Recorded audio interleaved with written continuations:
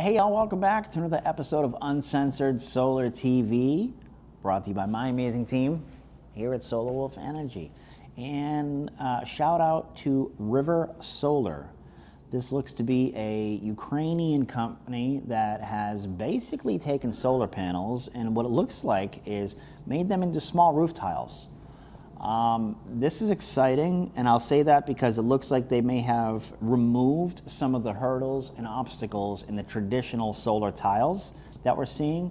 As we know, the, the Tesla company, um, their, their product is beautiful. However, it's very inefficient in comparison to what we're about to review today. It looks like River Solar is stating that their product is just under that, that what is becoming that mandatory 20% hurdle that a lot of solar installers and sales companies alike are trying to base their product line on.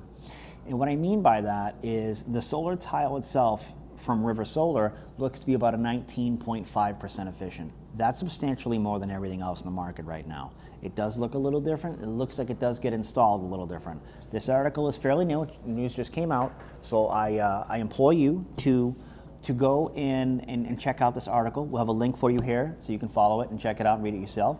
Um, we're going to try to reach out to the, uh, the people over there and see if we can get some kind of communication and maybe a podcast or some, a, a, uh, an interview for our, our channel here.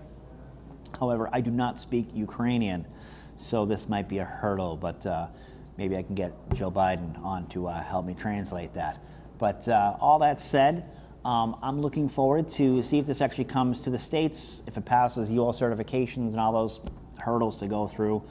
Again, I do believe that uh, with more competition in this space, it's going to yield a better result for the actual end consumer. And with that said, I want you all to take a look at it, leave me a comment, whatever you want to see in the next episodes, whatever. Please let us know, and please check out this story. I think this could uh, this could really take off if given the right parameters, resources behind it, and people. So.